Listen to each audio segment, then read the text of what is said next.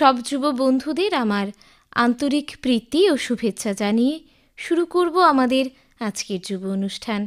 Dating এবং romance scam প্রায়ই online dating ওয়েবসাইটের মাধ্যমে সঞ্চালিত হয়। কিন্তু এই সমস্ত স্ক্যামাররা যোগাযোগ করতে সামাজিক মিডিয়া বা ইমেল ব্যবহার করতে পারে। এমনকি তারা তাদের শিকারকে প্রথম ভূমিকা হিসেবে টেলিফোন করতে পারে। এই স্ক্যামগুলি ক্যাটফিশিং হিসেবেও পরিচিত।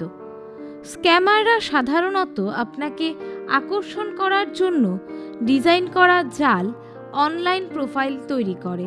তারা একটি কাল্পনিক নাম ব্যবহার করতে পারে, অথবা মিথ্যা কর্মী যেমন সামরিক কর্মীদের, সহায়তা কর্মীদের বা বিদেশে কর্মরত পেশাদারদের, সত্যিকারের বিশ্বস্ত ব্যক্তিদের শনাক্ত করতে পারে।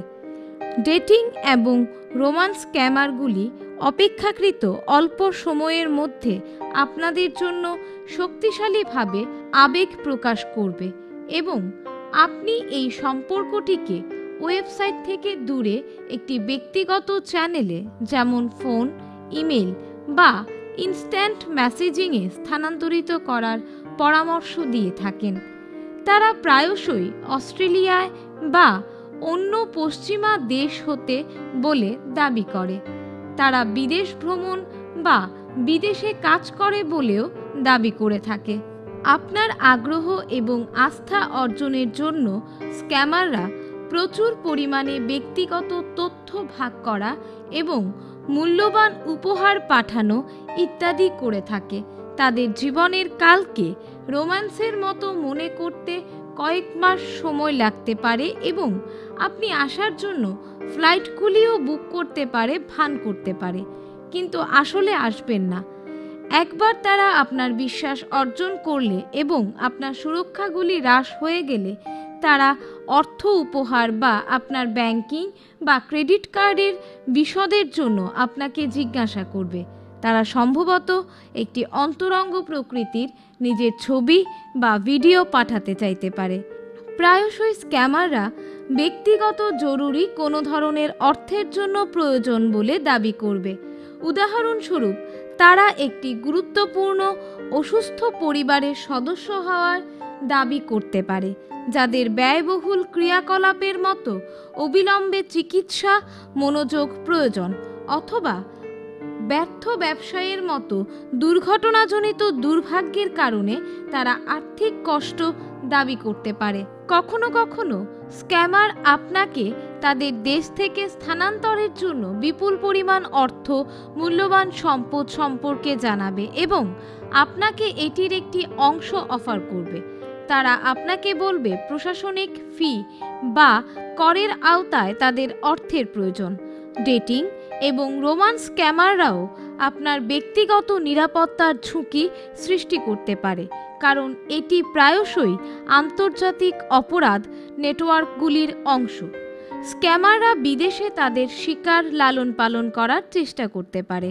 আপনার বিপজ্জনক পরিস্থিতির দুঃখজনক ফলাফল হতে পারে নির্বাণ। কীভাবে স্ক্যামড বা প্রতারণার শিকার হয়? নির্বিশেষে আপনার অনেক টাকা শেষ হয়ে যেতে পারে। Online dating and romance scam প্রতি বছর মিলিয়ন অস্ট্রেলিয়ান আউট প্রতারক হিসেবে চিহ্নিত। স্ক্যামারদের কাছে পাঠানো অর্থটি প্রায়শই পুনরুদ্ধারে অসম্ভব হয়ে পড়ে। অনলাইনে কারোর সাথে দেখা করা এবং মাত্র কয়েকটি পরিচিতির পরে তারা আপনার জন্য দৃঢ় অনুভূতি প্রকাশ করবে, চ্যাট বা ইমেলের মাধ্যমে যোগাযোগ করতে চেষ্টা করবে। তারা তাদের প্রতিশ্রুতির পালন না করে এবং কেন তারা সাক্ষাতের জন্য ভ্রমণ করতে পারে না এবং সর্বদা কেন তাদের আরও অর্থের প্রয়োজন হয় তা নিয়ে সবসময় অজুহাতে থাকে। সর্বোপরি বলতে পারি, এই সমস্ত স্ক্যামারদের হাত থেকে সতর্ক থাকুন এবং অন্যকে সতর্ক রাখুন। বন্ধুরা আজকের অনুষ্ঠানে স্টুডিওতে রয়েছে কর্মিতা বণিক। কর্মিতা সম্পর্কে বলতে গেলে বলতে হয় যে কর্মিতা পেশাগতভাবে একজন আইনজীবী। কর্মিতার কাছ থেকে আজকে জেনে নেব আইন সম্পর্কিত কিছু তথ্য। শুভ সকাল যুব বন্ধুরা। তোমরা নিশ্চয়ই ভালো রয়েছ। আজকে আবার আলোচনায় বসে গেলাম। আজকের আলোচনার বিষয় রয়েছে ত্রিপুরা হিন্দু ও ইসলামিক ভরণ পোষণ আইন দু ভরণ পোষণ আইনের মূল উদ্দেশ্য হচ্ছে স্বামী পরিত্যক্তা, নির্যাতিতা এবং অসহায় নারীদের জন্য আর্থিক সুরক্ষার ব্যবস্থা করা। এ আইনের মূল লক্ষ্য হল সামাজিক ন্যায় বিচার নিশ্চিত করা। বিপাকে পড়া এবং সহায় সম্বলহীন অসহায় নারীরা যাতে স্বামীর কাছ থেকে ভরণ পোষণ আদায় করতে পারেন, তার জন্য আইনি ব্যবস্থা তৈরি করা। স্বামীর কাছ থেকে নিজস্ব উপার্জনহীন স্ত্রীদের ভরণ পোষণ পাওয়ার একটি অধিকার যা আইন দ্বারা স্বীকৃতি হয়েছে। সব ধর্মের মহিলারাই স্বামীর কাছ থেকে ভরণ পোষণ পাবার অধিকারী, যদি তিনি নিজের ভরণ পোষণে অসমর্থ হন। বিবাহ বিচ্ছেদের পরও এই অধিকার বজায় থাকবে। যতদিন না সেই স্ত্রী পুনরায় বিবাহ করছেন অথবা বেভিচারে লিপ্ত প্রমাণিত হচ্ছেন। সন্তানদের ভরণ পোষণের ক্ষেত্রে অপ্রাপ্ত বয়স্ক সন্তান বৈধ বা অবৈধ। প্রাপ্তবয়স্ক কিন্তু শারীরিক বা মানসিকভাবে অসুস্থ সন্তানরা তাদের পিতা মাতার কাছ থেকে ভরণ পোষণ পাবে। বৃদ্ধ, অসমর্থ, উপার্জনে অক্ষম পিতামাতার ভরণ পোষণের দায়িত্ব তার সন্তানদের নিতে হবে। ভরণ পোষণের মামলায় অন্তর্বর্তীকালীন ভরণ পোষণ প্রদানের সংস্থান রয়েছে। আবেদনকারী স্ত্রী দীর্ঘ আইনি জটিলতায় আটকে পড়ে ভরণ পোষণ বিহীন অবস্থায় দিনের পর দিন, মাসের পর মাস অর্ধাহারে অনাহারে থাকতে বাধ্য না হন তার জন্য অন্তর্বর্তীকালীন ভরণ পোষণ প্রদানের সংস্থান শুধুমাত্র আবেদনকারীর হলফনামা আবেদনের উপর নির্ভর করে স্বামীর বক্তব্য না শুনেই আদালত অন্তর্বর্তীকালীন ভরণ পোষণ প্রদান করতে পারেন। ভরণ পোষণের সুনির্দিষ্ট সীমা নেই। তা নির্ভর করবে স্বামীর আয় এবং স্থির সামাজিক অবস্থানের উপর। স্বামীর রোজগার বা বেতন বৃদ্ধির সাথে সাথে স্ত্রীর খরপোশ বৃদ্ধির আবেদনের মূলে আদালত পূর্বের খরপোশের আদেশ সংশোধন করতে পারে। কোনো মাসে খরপোশ না দিলেই আদালতের আদেশ অমান্য করা হবে এবং প্রতিটি আদেশ অমান্যর জন্য ওয়ারেন্ট জারি করা যাবে। খরপোশ আদায় না করা গেলে অনাদায় প্রতিটি ক্ষেত্রে এক মাস পর্যন্ত জেল হতে পারে। ভরণ পোষণ সংক্রান্ত মামলা শোনার ও নিষ্পত্তি করার এখতিয়ার পারিবারিক আদালতের রয়েছে। এবারে ইসলামিক ভরণ পোষণ আইন। স্বামী স্ত্রীর মধ্যে যতদিন বৈবাহিক সম্পর্ক অটুট থাকবে, ততদিন স্বামী স্ত্রীর ভরণ পোষণ চালাবেন। কিন্তু স্ত্রী তখনই ভরণ পোষণ পাবেন যখন তিনি সাবালকত্ব প্রাপ্ত হয়ে স্বামীর প্রতি তার কর্তব্য পালন করবেন। যথা স্বামীকে সহবাসের সুযোগ দেবেন, স্বামী গৃহে বাস করবেন এবং স্বামীর আদেশ মেনে চলবেন। যদি এইসব শর্তের কোনো একটি ভঙ্গ হয়, স্বামী তার স্ত্রীর ভরণ পোষণ বন্ধ করে দিতে পারেন। কোনো বিবাহ বিচ্ছিন্ন মহিলা যদি নিজের ভরণ পোষণে সক্ষম হন, তাহলে বিবাহ বিচ্ছেদ অথবা তালাকের পর তিন মাস, ইদ্যাতের সময় পর্যন্ত স্বামীর কাছ থেকে ভরণ পোষণ পাবে। কিন্তু যদি দেখা যায় কোনো স্ত্রী তার ভরণ পোষণে অক্ষম, তাহলে ইদ্যাত পর্যায়কাল শেষ হওয়ার পরেও সেই স্ত্রী তার স্বামীর কাছ থেকে খরপোশ পাবার অধিকারিণী হবেন। এমনকি নিকার সময় স্ত্রীকে দেওয়া অর্থ যা মেহর বলা হয়, তা তালাক বা বিবাহ বিচ্ছেদের পর স্বামী সেই মহরের অর্থ তার স্ত্রীকে দেবেন এবং সেই অর্থ দিয়ে স্ত্রী তার ভরণ পোষণ চালাবেন। সন্তানের বেলায় প্রাপ্ত বয়স্ক না হওয়া পর্যন্ত মুসলিম পিতামাতা তাদের ভরণ পোষণ দেবেন। মুসলিম নারীদের ভরণ পোষণের ক্ষেত্রে ভারতীয় ফৌজদারি কার্যকরী একশো পঁচিশ নং ধারা প্রযোজ্য রয়েছে। স্বামীর কাছে ভরণ পোষণের চেয়ে তার পারিবারিক আদালতে মামলা দায়ের করতে পারেন। ভরণ পোষণ দিতে পারিবারিক আদালতের আদেশ অমান্য করলে আদালতকে তাহা অবগত করতে হবে দরখাস্তের মাধ্যমে এবং আদেশ অমান্যকারীর উপর ওয়ারেন্ট জারি হবে। খরপোশ আদায় না করা গেলে অনাদায়ে প্রতিটি ক্ষেত্রে এক মাস পর্যন্ত জেল হতে পারে। এবারে আলোচনা করব হিন্দু মহিলাদের সম্পত্তির আইন ও অধিকার নিয়ে। যারা হিন্দু ধর্মাবলম্বী তাদের ক্ষেত্রে মৃত ব্যক্তির সম্পত্তির অধিকার নির্ধারিত হয় হিন্দু উত্তরাধিকারী আইন উনিশশো ছাপ্পান্ন অনুসারে। দু হাজার পাঁচ সালে হিন্দু উত্তরাধিকার আইনের সংশোধনের ফলে হিন্দু মহিলাদের সম্পত্তির উত্তরাধিকারে প্রভূত উন্নতি ঘটেছে। পূর্বে দেখা গেছে, মহিলাদের সম্পত্তির জন্য অধিকার পুরুষের সমান ছিল না, কিন্তু সংশোধনের ফলে নারী পুরুষের সম্পত্তির সমান অধিকার স্বীকার করা হয়েছে। একজন হিন্দু পুরুষ মারা গেলে তার পুত্র, কন্যা, মা ও স্ত্রী। প্রথম শ্রেণির উত্তরাধিকারী হিসাবে মৃতের সম্পত্তির সমান অংশের উত্তরাধিকারী হবেন। বাবা সেই ক্ষেত্রে দ্বিতীয় শ্রেণির উত্তরাধিকারী হিসেবে স্থান পাবেন। তাই প্রথম শ্রেণির উত্তরাধিকারী থাকলে বাবা বা অন্যান্য দ্বিতীয় শ্রেণির উত্তরাধিকারীরা কোনো সম্পত্তি পাবেন না। পুত্র বা কন্যা যদি আগে মারা যান এবং তাদের সন্তান জীবিত থাকে, তারা তাদের ঠাকুরদা বা ঠাকুরমা, দাদু বা দিদিমার সম্পত্তিতে তাদের বাবা এবং মার অংশ পাবেন। একজন হিন্দু নারী তার সম্পত্তির পূর্ণ মালিকানা পাবেন। একজন হিন্দু নারী মারা গেলে তার উত্তরাধিকারী হবেন, প্রথমত তার পুত্র, কন্যা ও স্বামী সমান অংশে। দ্বিতীয়ত, পুত্র, কন্যা ও স্বামীর অবর্তমানে স্বামীর অন্যান্য উত্তরাধিকারীগণ। তৃতীয়ত মাতা ও পিতা। চতুর্থত পিতার উত্তরাধিকারীগণ। সর্বশেষে মাতার উত্তরাধিকারীগণ। যুববন্ধুরা সেই সঙ্গে শেষ করছি আজকের আলোচনা পর্ব। এতক্ষণ শুনলাম কর্মিতা বণিকের কাছ থেকে আইন বিষয়ক কিছু তথ্য। আমাদের আজকের যুব অনুষ্ঠানের প্রথম অনুষ্ঠান লোকগীতি। পরিবেশনায় আমাদের যুববন্ধু রমা কর্মকার। ও আরে বন্ধু আমার, পানের দোকানদার। ও সখী গো, বন্ধু আমার, পানের দোকানদার। ও সে মিষ্টি জর্দা পান খাওয়াইয়া কাইরা নীল মন আমার মোহন আমার। বন্ধু আমার পানের দোকানদার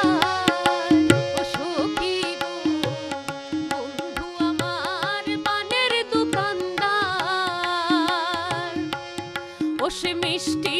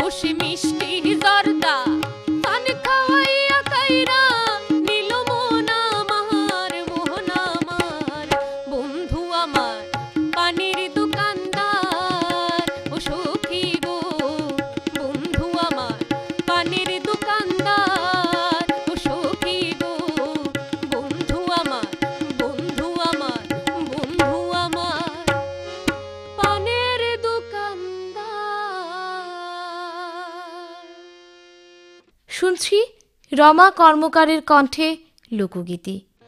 উথালি পাথালি আমার বুক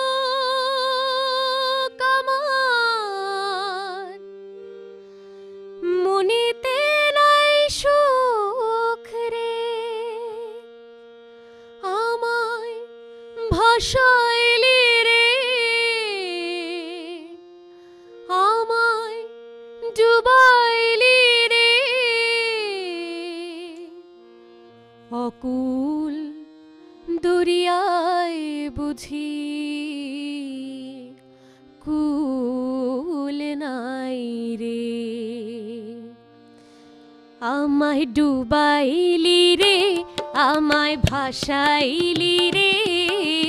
অকুল দরিয়ায় বুঝি কুল নাই রে। আমায় ডুবাইলি রে, আমায় বাসাইলি রে। অকুল দরিয়ায় বুঝি কুল নাই রে। কুল নাই, সীমা নাই অথই দরিয়ায়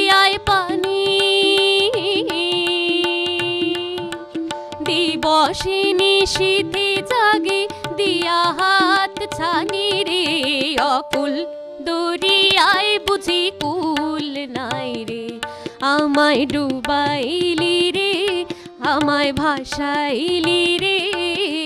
অকুল দরিয়ায় বুঝি কুল নাই রে।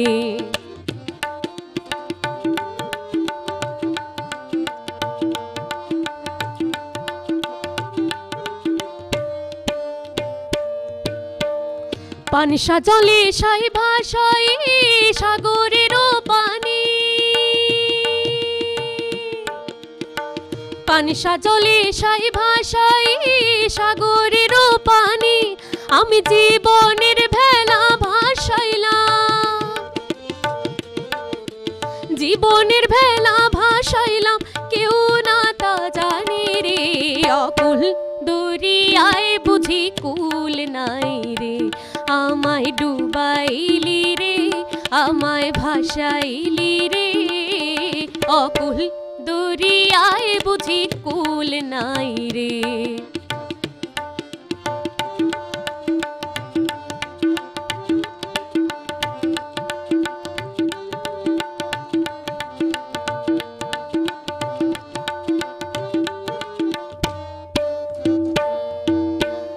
আসমান চাহে দরিয়া পানি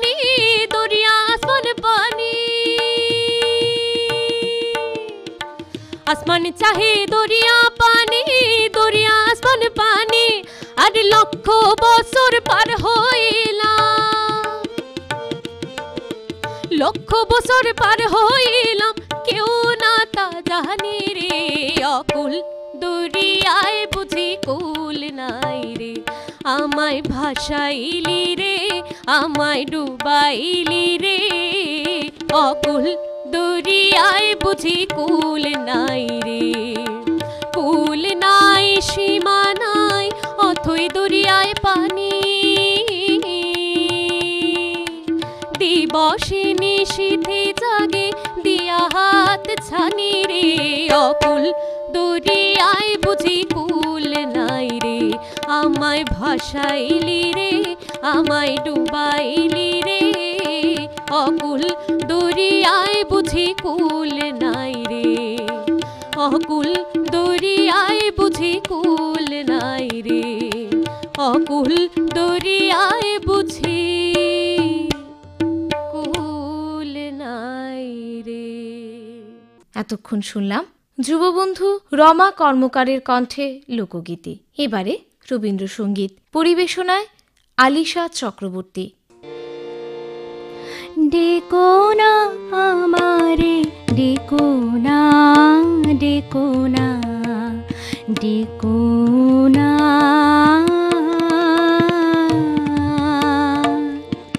চলে যে এসেছে মনে তারে রেখো না রেখো না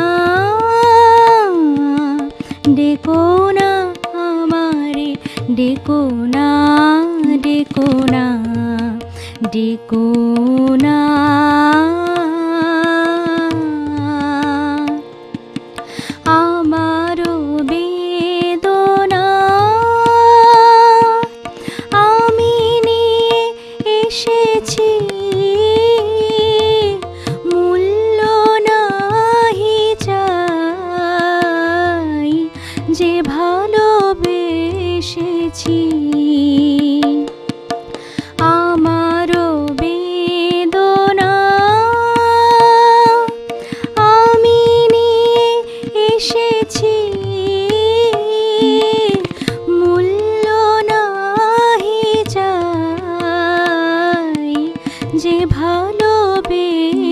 一起。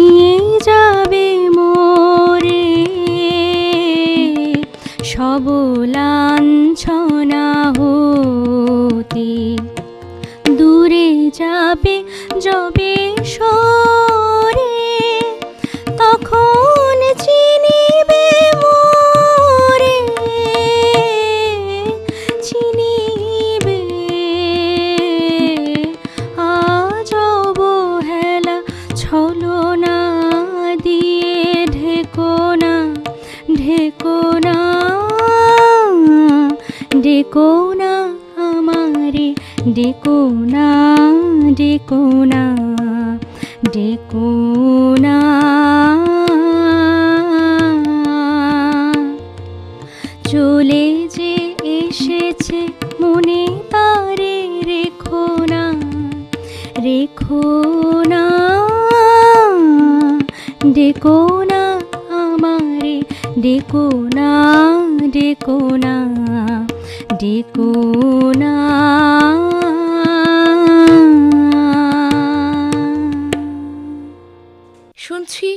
মনীষা চক্রবর্তীর কণ্ঠে রবীন্দ্রসঙ্গীত যদি তারে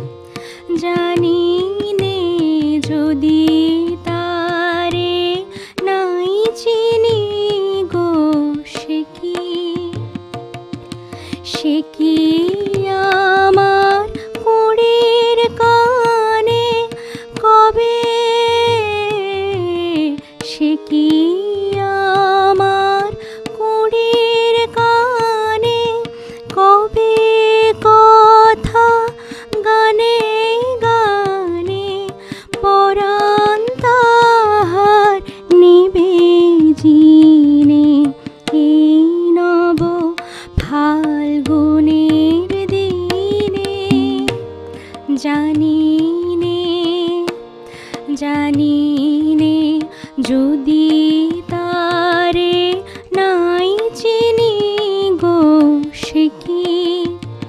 সে কি আপন রা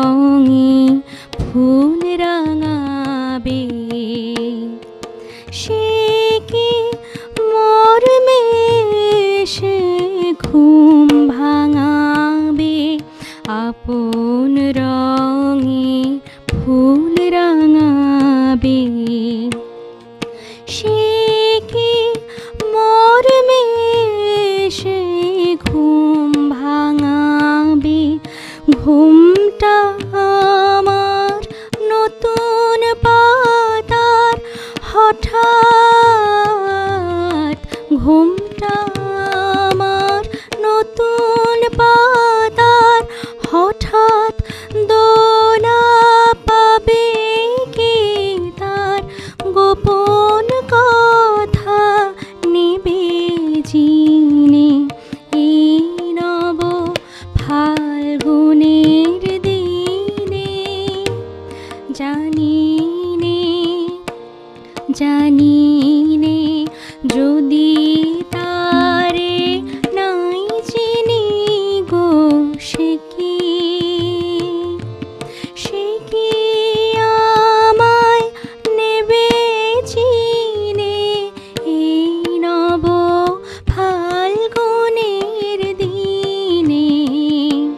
জানি নে জানি নে যদি তারে নাই চিনি গো সে কি?